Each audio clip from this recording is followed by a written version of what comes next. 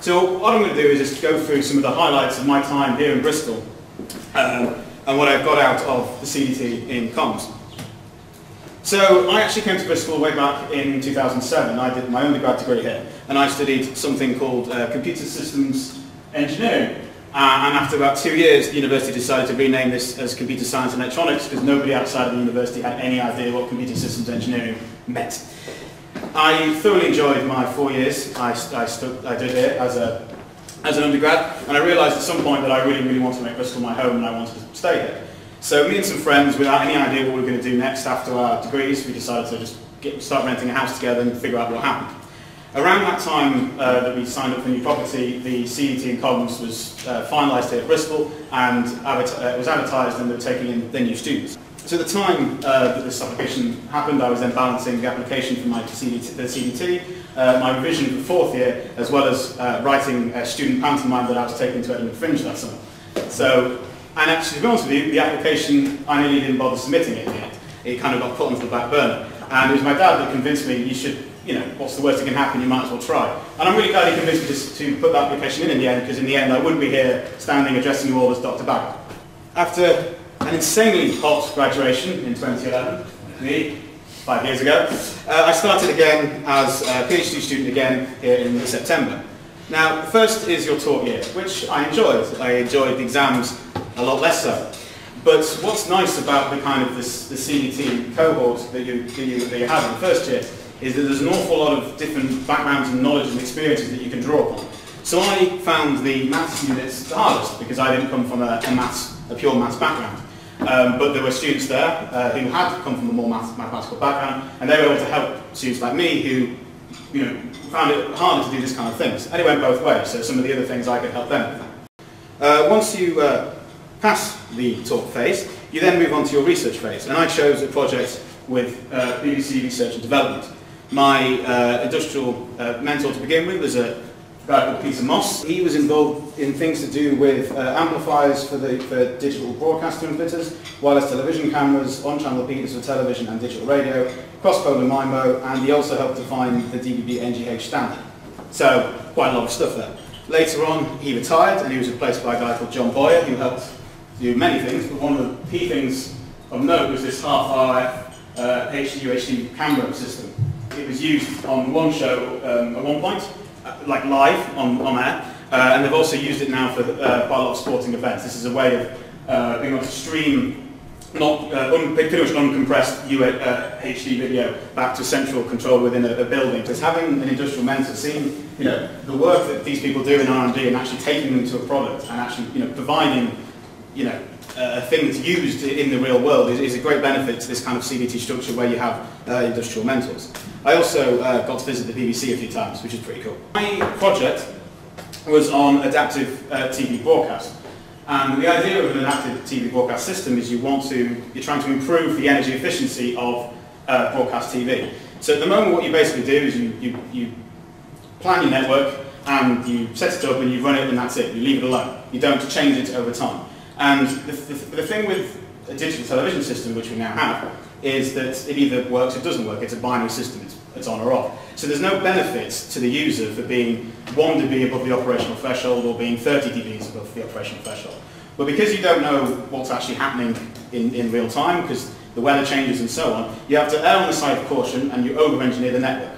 So the idea of an adaptive system is if the broadcaster knew what was uh, being received by user equipment that's sent back data going, I am here, this is what I'm receiving, the broadcaster could then adapt to this information and improve the energy efficiency of the network by changing coverage and so on. Uh, something I managed to do very early on was I was invited by Arqiva, they're the people that actually run the network, uh, to visit a broadcast tower. And so something you don't really understand unless you go to these places is just the sheer size of the operation involved. To put that into context, this is the list of the tallest man-made structures in the UK, and the Shard, which is the tallest building in Europe, is 10th on this list. Everything that's taller than the Shard, all nine of those things, are all TV broadcast towers. Uh, the tallest one is about 60 metres taller than the Shard. So these are massive, massive structures, really, really large. And the one I visited was uh, Sutton Coldfield, which is uh, just northeast of Birmingham. Now this is actually quite a short tower, it's only 270 metres as opposed to 360 something. But it is the second most important tower in the UK in terms of the coverage, the people it covers after Crystal Palace uh, in London. It broadcasts at 200 kilowatts, it's responsible for 35 relay stations and it's approximately 10,000 square kilometres. This is what it looks like. Now, 200 kilowatts is an awful, awful lot of uh, broadcast power, which requires an awful lot of electricity. And it needs a lot of electricity because there's an awful lot of power amplifiers. Lots and lots and lots of power amplifiers. And because this is such an important site, each uh, multiplex, so channels are mixed together onto one frequency, they actually have double, they, they have two sets of amplifiers going at the same time in case one fails. That's how important it is. So they've got double redundancy. So, uh, so these amplifiers are running and actually not technically broadcasting anything. It's in case something goes wrong, they can switch to it. So an awful lot of electricity is used. There's monitoring equipment for what's going on an awful lot of cabling to get the timing right so the actual programs go out properly, an awful lot of cabling and ducting uh, and combining to bring all the signals together, that thing at the back which then sends up the tower to broadcast it over Birmingham.